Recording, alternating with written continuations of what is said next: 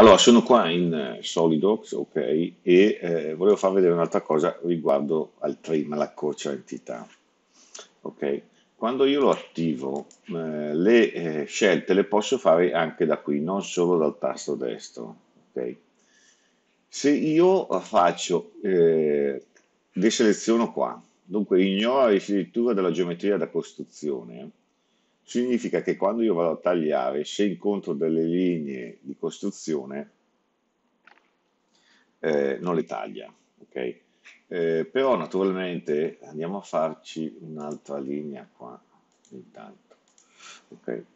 Eh, naturalmente eh, il problema è questo, perché non c'era?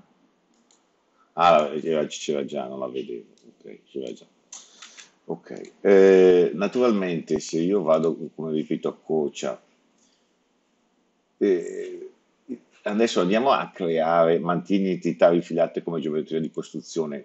Se tengo attivato questo, questo è inutile.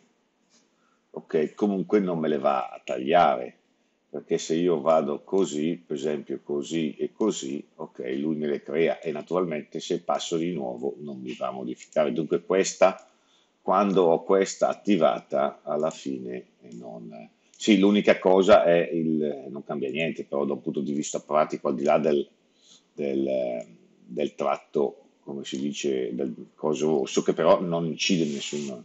Dunque, quando io mantiene entità rifilate come geometria della costruzione, è inutile questa, che sia attivata o no, è la stessa roba. Questa qui invece quando non mantengo, a questo punto quando passo di qui non va a tagliare, va solo a tagliare qua. Ok?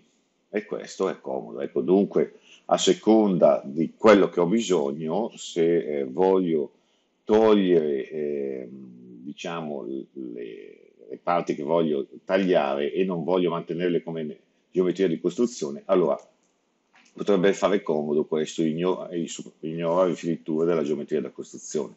Mentre se invece mantengo, mantengo come voglio fare qua, il eh, mantieni, questa è indifferente, ok? Perché comunque mi trasforma tutto in costruttivo.